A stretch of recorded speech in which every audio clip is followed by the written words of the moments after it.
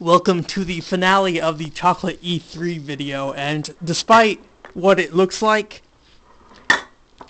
well, actually, most of this was probably eaten just in between shows because I was just needing to do something in between shows and was like, oh, let me, let me eat that. But yeah, um, yeah, uh, Nintendo's just finished.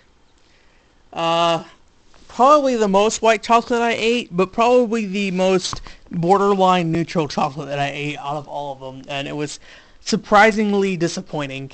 I was like, wow, that's that's really, really bad. That was not a very good show. Look at all these soda cans. Those are from like, like three days down here. Um,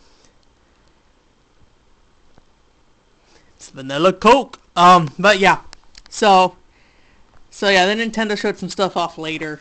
Um, and uh, they showed off some Platinum game. It looked alright. Um, the U trailer, I thought ZombiU wouldn't be very interesting, but it actually turned out to be pretty decent. Um, in terms of being different, because uh, you only have a character with one life. Oh, uh, you can look up all the info, watch GameTrailers TV's uh, presentation for it, but it looks cool. Concerned about what the actual end game will be of it, but uh, yeah, my fingers are bent. So, good stuff. Chocolate happened. I'll probably I'll probably do like a little sum of the stats online somewhere.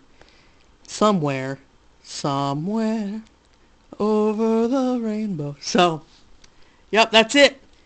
Uh, and then there's there's the stuff Nintendo's still doing, so there's still more obviously, but but yeah. That's what it do.